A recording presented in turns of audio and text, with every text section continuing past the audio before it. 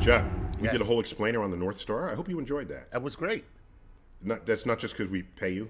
To No, no, absolutely. That it- was a really good one. I, uh, you know, first of all, you're not. Who knew that you're uh, that the North Star was such a poser?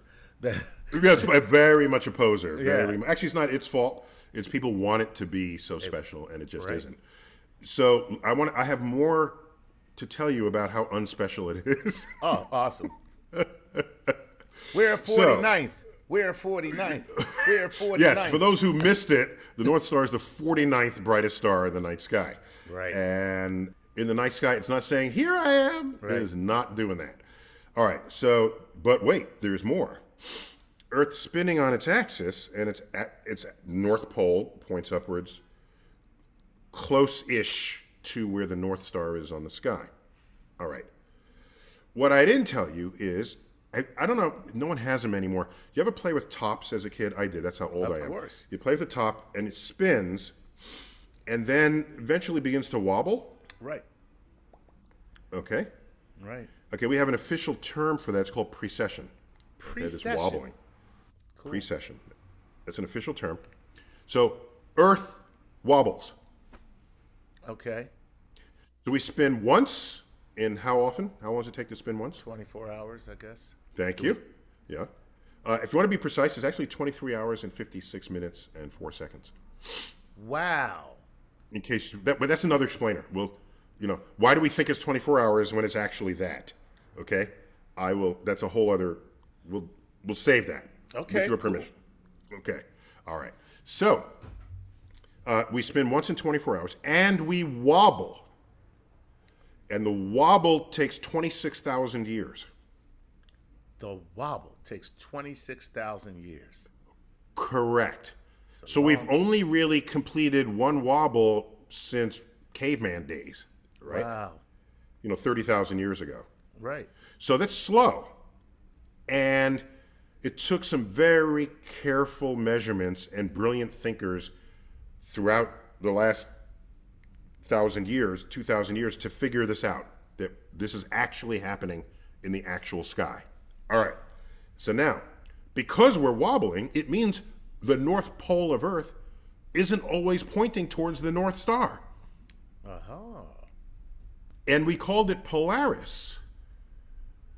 But wait a minute. If it's no longer if later on it's not going to point to Polaris, not only is it not the North Star, should we keep calling it Polaris? Or just sort of grandfather in, well, that's what I once was Right. back in the day. Exactly. Right. So if you look at that circle, the diameter of that circle is in degrees is 23 and a half degrees. Okay. Okay? Because that's how tipped we are from vertical. All right.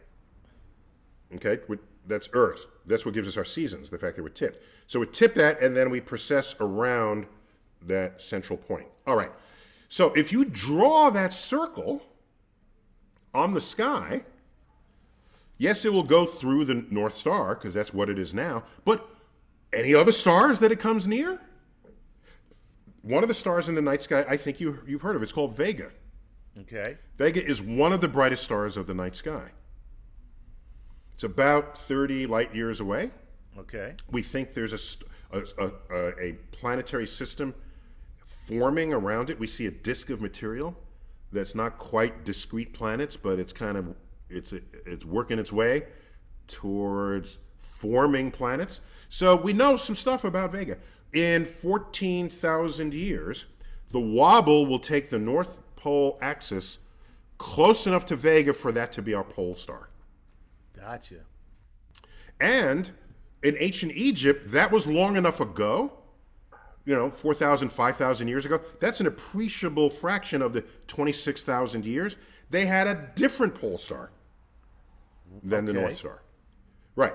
So in recorded history, civilizations have had different pole stars. And only right now is it what we're calling Polaris. Wow. Okay, So there's is- nothing magical or permanent about it. Wow, it's like being in Menudo. Does anyone under 50 even know what that reference no, means? they have no idea what I'm talking about right now. but for those of you who don't know, Menudo was a boy band, and they just kept swapping out members. One of which was Ricky Martin. Oh, I forgot about that. That's right. Yeah, so Menudo was not a set of names. Right. It was a concept. It was a concept. Yes, Yeah. yes. And, And, it always swapped out the members as they as they would age out. They'd be like 18. Yeah, They'd be the like, age out. That's what it was. Yeah. Sorry, Manuel. Your time is up. you gotta go, bro. Wait, wait, wait, you are now a man. You, must are- join the man band instead of the boy band. Can't be in the boy band anymore. You are, yeah. So that's pretty wild. Yeah, so the North Star is a concept, and we sometimes you, you won't have one. When it's sort of between other two stars, we're not going to have a North Star. That's dope. I got. I love it. That is the most interesting thing about the North Star is that the North Star one is not the North Star, and two, it ain't even. It's not even gonna be there. it's not even gonna be there in a few thousand years, And it's not even in the top 40. and it's not even top forty. You know, that's Yep. that- that's pretty wild. All right. That is totally wild. Now, North there's one other the- thing. It's the con man of all stars. don't blame, no, don't blame the star itself. It, it's, okay. You Wait, fraud. I got one more thing. The North Star is a fraud. Go ahead. I got one more thing. You ready? all right. All right. One of the consequences of the precession Right. is that the sun is in a different part of the sky at the same time of the year. In other words, right now, pick a month, okay? Right. Uh, so I'll, I'll pick, let's pick October. Okay. And so October, astrologically, the sun is moving through Libra. Okay. Okay? Well, the precession of the Earth, the, the wobble, over the 26,000 years will systematically put the sun in a different constellation in the month of October. Right. Okay? So the entire zodiac rotates through the calendar. Wow.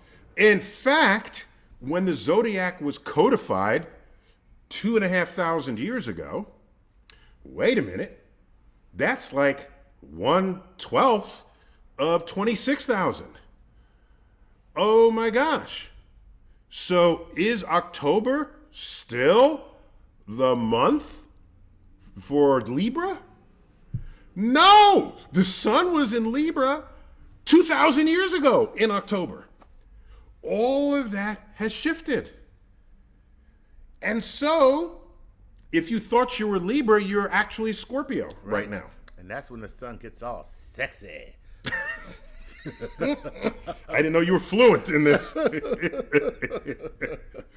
so, the the zodiac people, the astrologers, still describe the sun being in these various constellations as they were mapped out 2200 years ago Right. between 2000 and 2400 years ago and so if you're it's cancer scorpio gemini you would expect the sun to be in that constellation the day you were born it was 2200 years ago Oh man, that is so.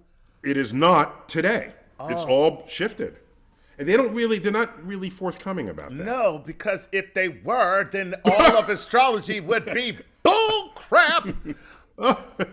that is. Oh man. Oh, wait, not man. only that, not only that, the the the the, the zodiac, the, the sun in the zodiac actually passes through a, a 13th constellation. It's called Ophiuchus.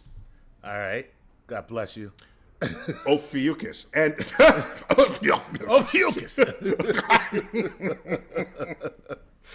Wow. So, okay. in fact, the sun spends more time in Ophiuchus than it does in Scorpius. okay. So, if you thought you were Scorpio, you were probably Ophiuchian, and all Scorpios and Ophiuchians are currently Librans. Wow. I just thought I'd put that out there. I I I just want to know where where does that leave Cancer? Because that's what I am. Okay. Oh, you're Cancer? I'm, Yeah. I'm a Cancer, so. So, Cancer is one of the lamest constellations ever constructed in the night sky. Damn. That There's like five stars, and they have like a crab with claws and it's a crustacean. It's like, what were you smoking? What what opium was working in your system to say, oh, let's call that a crab? Man, you just, I can't believe this. It's like, one, I got a lousy constellation. Two, they made. Well, plus those stars aren't very bright. And they're not- okay, I- I got a loud- if you ask if you ask astrologers, they there are twelve prominent constellations in the sky. No, they're not. Dad. Most of them. there's like three that kind of look like what they're supposed to. I got So, a yeah, lousy, th- dim constellation. They made me into a stupid bottom feeder crab. And on top of that, I'm a festering malignancy. So, Yes, which they named after crabs. right. Yes. Oh, God. yes. Oh, man. Cancer. Is it too late to be a Sagittarius? Where's Where's Cancer now? Where's, I got. I don't know. I don't keep it. I, I haven't memorized that. I'll, I'll come back to you on another episode. okay. All right, we got to call it quits there. Just to round out everything you didn't need to know about the North Star and its brethren. Very cool. StarTalk explainers. Neil deGrasse Tyson. Keep looking up.